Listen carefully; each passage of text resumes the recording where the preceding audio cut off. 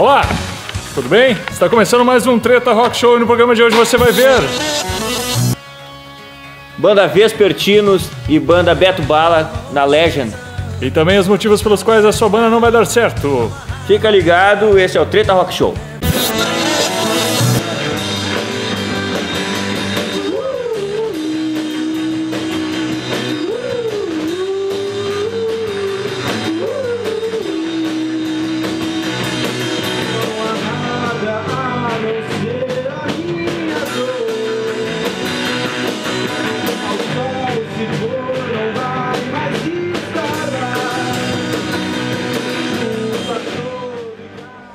Aí galera, parabéns pelo show. Há quanto tempo existe a banda? Cara, a banda, na verdade, acho que ela existe há o quê? Um ano? Pra mais, assim. O projeto dela, na verdade, existe há, um- há uns dois anos, eu acho. E daí a gente começou a ensaiar mesmo em setembro do ano passado, outubro, por aí. Daí a gente fez a primeira apresentação lá em Santa Maria em março. Foi em março e daí fizemos uma, uma, uma outra apresentação e agora viemos aqui para Santa Cruz, uma cidade que a gente simpatiza bastante. Como vocês definiriam o tipo de som de vocês, cara? Faz folk. ah, é, é um folk, né? Com alguns outros elementos, assim, não sei explicar. O compositor, o Martinho, acho que seria a pessoa apropriada pra falar sobre isso. Vai. É, assim, eu. Tem, tem música ali que eu, falo, que eu fiz assim com 15 anos no meu, no meu quarto, assim, sabe? Mas eu, eu. É uma coisa que. Eu tenho 21. Não, Não, mas daí eu conheci o Matheus, ele, eu mostrei as músicas pra ele, ele botou fé, assim. E, mas eu, sei, eu não sei definir muito bem que estilo que é, mas é uma coisa que sai do meu violão, assim, sabe? Mas, mas daí tem a guitarra, tem bateria, tem. Daí os, os guris botam as ideias deles também, e daí. O Martim chega com a voz e violão ali, mostra, apresenta as músicas e a gente vai arranjando em cima. Às vezes ele fala pra nós, cara, tá muito diferente da- do que eu compus, assim, da, da versão que eu tinha em mente.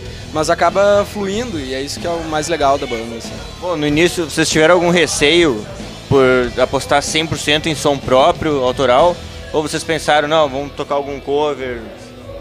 Não, a gente já iniciou com a proposta do som autoral, né? Até porque o receio não existe porque a vontade de fazer autoral é maior do que qualquer coisa. E, e Santa Maria é uma cidade que cover e tributo é uma coisa que ainda impera lá e a gente tem que, sim, a gente tenta fugir disso, a gente toca o som e a gente gosta, então não tem receio quanto a isso, no caso. Cara, e os festivais, assim, eles acolheram bem vocês? Existe um público que é, se cativa, assim, por som autoral e está disposto a isso ou ainda sofre uma certa resistência? Cara, eu acho que assim, ó, ãh, sempre vai ter alguém que vai curtir, saca? Sempre vai ter alguém vai chegar depois do show vai falar, pô, legal, massa banda, muito boa, ou muito ruim, ou vai, vai ter alguma crítica pra fazer sobre o som autoral, sabe? Eu acho que enquanto tiver uma pessoa no meio de 50 que ainda tem um senso crítico pra som autoral, vai ser uma coisa boa, saca? O que a gente não pode é ficar fortalecendo essa cena de, de cover de tributo e querer falar que, que não, não, não tem uma cena autoral. Como é que vai ter uma cena autoral se o tributo tá sempre, sempre tocando e o autoral não, sabe? Não fica, tu- o cara toca cover, tu, tu ganha plateia no começo, tu ganha, vê o cartaz, a banda que gosta, a plateia já vem ganhar pronta, sabe? Mas de quando tu toca autoral, tu, o cara começa, tu vê assim, a galera no começo meio suspeita, vale, no fim tá curtindo, vale, vale, tri- vale muito mais a pena do que tu chegar e com a plateia ganha, sabe? Não é o teu público no caso, né? Que é o público da banda que tu tá tocando. E é legal ver isso, assim, que a gente acaba vendo as mesmas pessoas nos shows, que são as pessoas que curtem, assim. Uma, coisa que eu falei ali no show, que até os guris estavam me, me, me xingando aqui, que a gente tem muito essa discussão, né? Ah, vamos tocar um cover. Só que, tipo, eu meio me oponho a isso, saca? Só que às vezes também um cover é legal, tipo, a gente tocou um cover hoje, saca? Mas é um cover, não, na verdade não é um cover, é uma versão. Então acho que você tocar alguma coisa que, que te influencia também não é, não é de todo mal, saca? Mas pelo menos tem que pôr a tua identidade, pelo menos, né, na música. Então acho que isso até é válido, assim. Bom, pra quem quiser conhecer o som da banda, baixar e curtir a banda, acompanhar vocês, qual é o endereço? Ah, A gente tem nossa página Vespertinos no Facebook e também tem no Toque no Brasil, tnb.com.br É tnb.art.br .arte.br barra barra Vespertinos. Vespertinos. H-Beer, a cerveja do rock. E E a banda mais bonita da cidade, a Tamarindo, lança recentemente o seu EP chamado Lado B. Você eh, rimou até, você percebeu? Você já ouviu o CD Já. chamado Lado B? Gostei bastante da música Tênis Novo. E também. Qual som que tu curtiu? Eu gostei mais da última, que eu não lembro o nome agora. Poderíamos ter pesquisado, mas não pesquisamos. Ah, Mas- eu gostei também de Depois de Feito, achei que foi um baita som. E vale ressaltar que foi. Acho que o Gibran aqui da produtora que Que mixou. né? O Gibran. Baterias gravadas no, no estúdio Boca de Sons, do nosso Boca de amigo som, nosso amigo Alisson. Alisson, que não patrocina o Treta. Tudo bem, um abraço pro Alisson, sei que ele é fã do Treta. Fica a dica para todos conferirem lá no procura no Facebook Banda Tamarindo. Tamarindo, baixa o disco, escuta, pirateia, não sei se a gente pode falar isso. Não, pode, é pra baixar mesmo, cara, e vale a pena. É um power trio aí de muita qualidade aqui da cidade.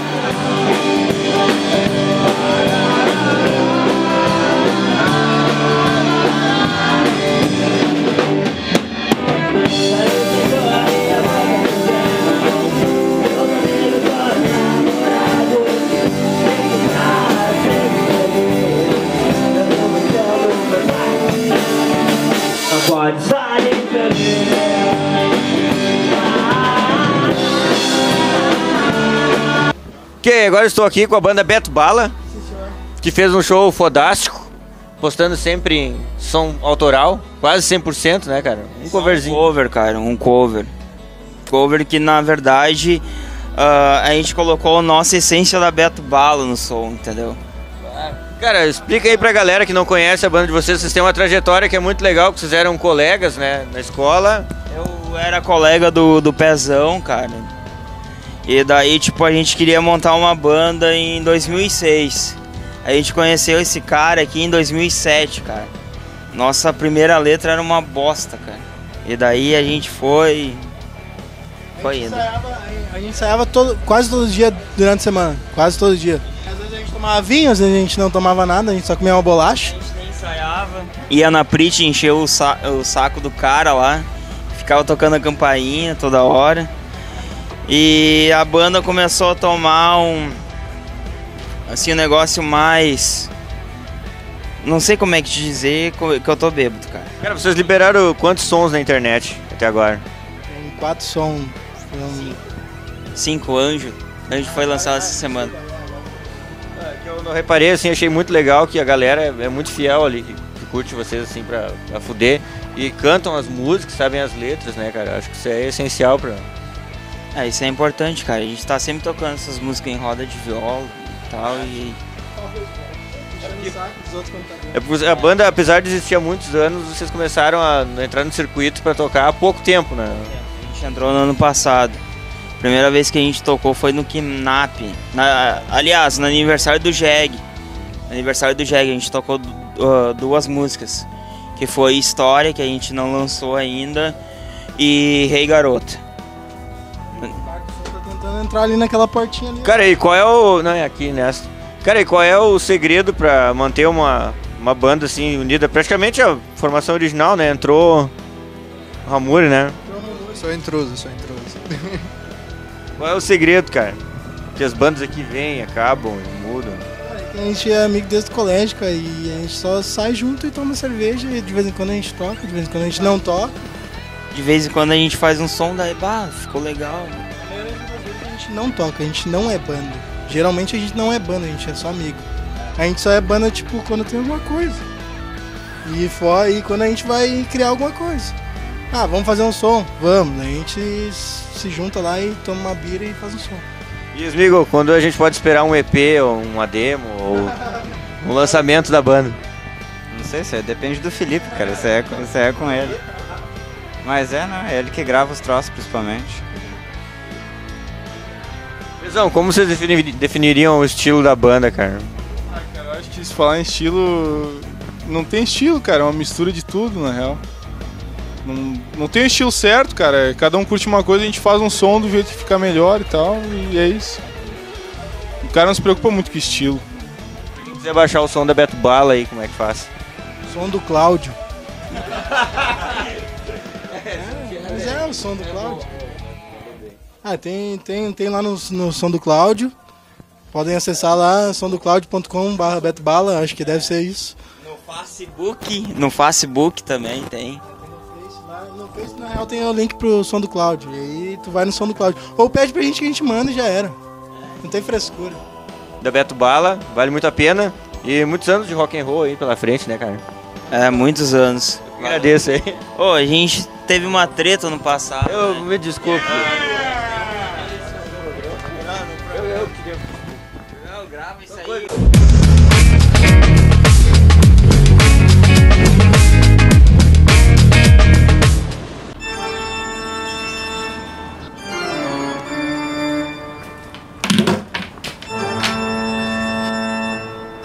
Histórias de instrumentos são sempre boas histórias. Druris Luthier. Pizzaiu, velho! Sua banda não vai dar certo. Porque um dos equipamentos é da marca Vatson! E na agenda do final de semana o lançamento do álbum da Devir, a banda de hardcore de Santa Cruz do Sul. Então fique ligado nas redes sociais para mais informações. Procure lá no Facebook e nas demais redes, aquelas que você mais usa ou não, enfim. E na Legend, sexta-feira, vai rolar a banda Minha Irmã de Portugal e também banda Outslave Cover. Em mais uma edição da Stop, do Rodrigo Jäger lá. E no sábado, banda Viúva Negra, também na Legend, tocando o melhor do rock anos 80, 90, com o nosso querido dinossauro do rock, Druris. E não se esqueça, se sua banda depende da opinião de Ivete Sangalo, Fábio Júnior e Dinho Ouro Preto, Você tá fudido. Grande abraço, pessoal. Até a semana que vem. Uou! Tchau!